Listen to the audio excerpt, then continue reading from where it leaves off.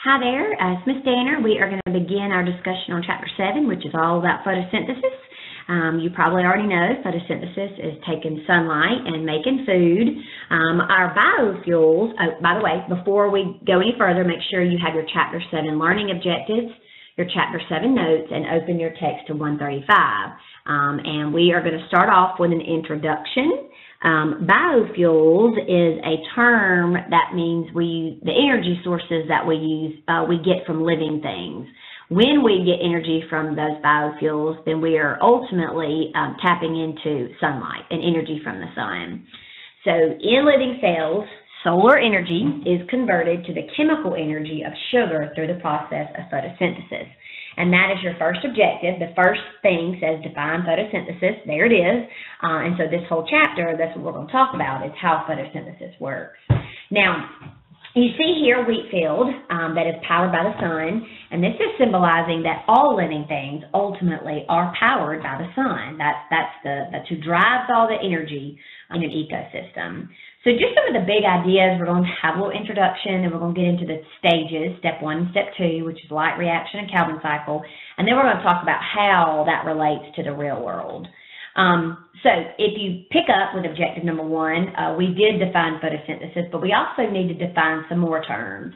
Autotroph, photoautotroph, producer, and heterotroph. And then it wants us to briefly explain the benefit of photoautotroph. So plants are autotrophs, which means they make their own food. They are self-feeders. Um, they are the producers. That means they produce the food that feeds consumers. Now, organisms that are consumers cannot make their own food. They have to consume it.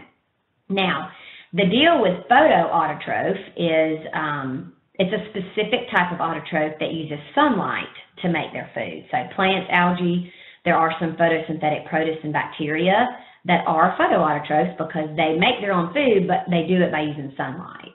Um, and the producers of that food is consumed by heterotrophs, and heterotrophs are consumers that feed on plants, animals, or they could be decomposers. They, you know, decompose and break down dead organic matter.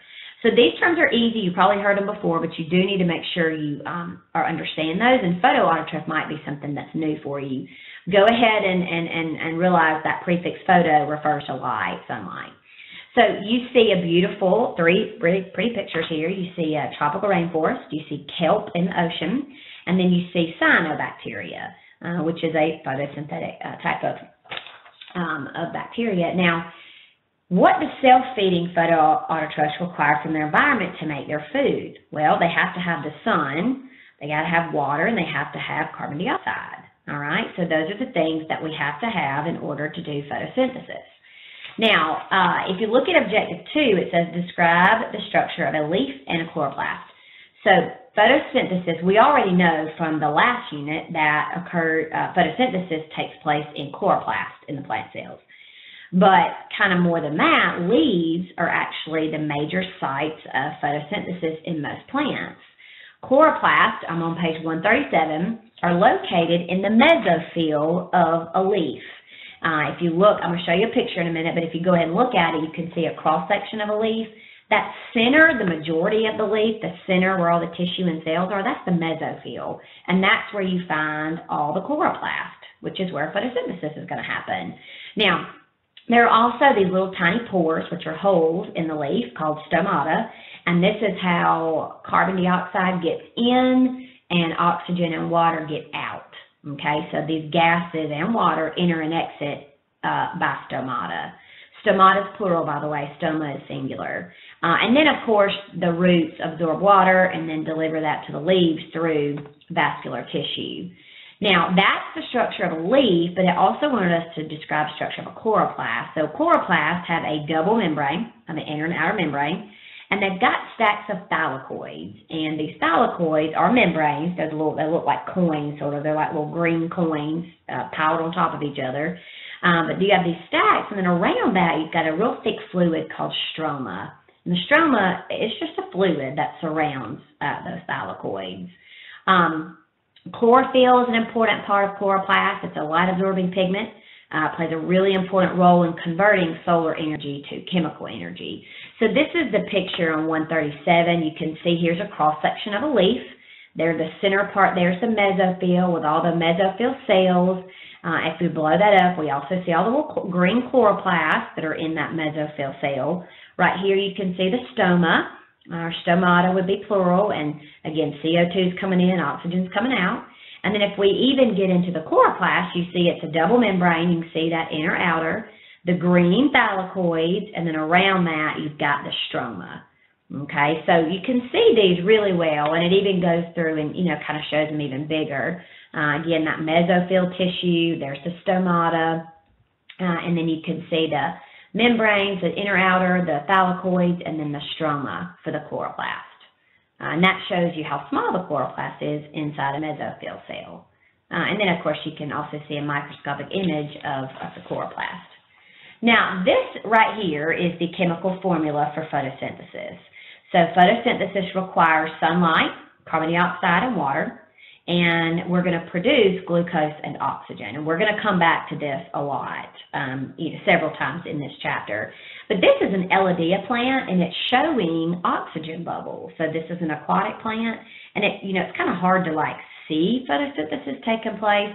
But this is cool because you can see the oxygen being produced as a product of photosynthesis, uh, which is indicated by the bubbles there.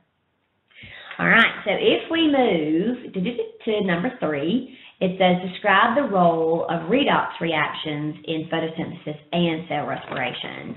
Um, so um, on page 138, just like uh, respiration, photosynthesis is a redox reaction, which means it's going to have oxidation and reduction. Uh, in photosynthesis, water is oxidized, which means it is going to donate hydrogens, and carbon dioxide is reduced, which means it is going to accept hydrogen electrons. Um, cell respiration is also a redox reaction. We already learned that in the last chapter. It harvests chemical energy that's stored in the glucose. Um, so both of these are redox. We're going to be transferring and rearranging hydrogen electrons. Remember, oxidize means to give up and reduce means to accept. So your checkpoint question says, which redox process, photosynthesis or cell respiration, is exergonic? Uh, and so in class, you know, of course, we'll, we'll talk about these when we meet, but exergonic means to release energy. So hopefully you know that cell respiration is the exergonic reaction. So right here, again, here's our chemical formula. We have energy. Carbon dioxide is reduced, which means it accepts or gains hydrogens and it becomes glucose. And water is oxidized or loses hydrogens and it becomes oxygen gas. So, you know, we look at this as kind of opposite of what happens in cell respiration, but carbon dioxide is reduced. Reduced means to, to gain hydrogen. So we are picking up these hydrogens and we're going to make glucose. And then water is oxidized. We, we give up hydrogens and, and of course we make oxygen there. Okay? Now, the next objective, um, number four, says state the chemical formula for photosynthesis, which there it is right there and then list the two stages, noting where each occurs. So we have two stages of photosynthesis, and they're linked by ATP and NADPH. So the first stage is called the light reaction, and it occurs inside the thylakoids. It is going to produce ATP and NADPH, which are needed for the second stage, which is the Calvin cycle.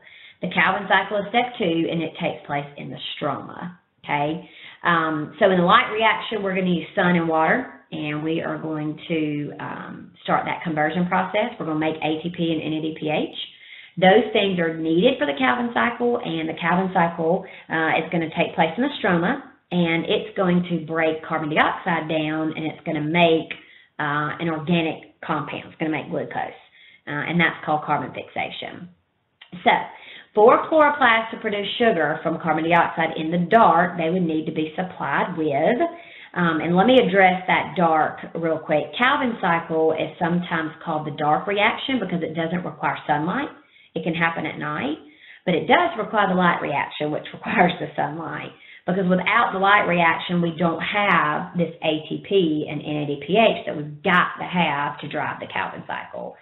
So the answer to this would be for chloroplasts to produce sugar from carbon dioxide in the dark, they would need to be supplied with ATP and NADPH. Okay, there's your chemical formula. That concludes objective number four. Uh, again, we have sunlight plus carbon dioxide. You've got to know CO2 is carbon dioxide plus water. You've got to know H2O is water. Yields or produces glucose and oxygen. Glucose is C6H12O6 and oxygen is O2, that oxygen gas.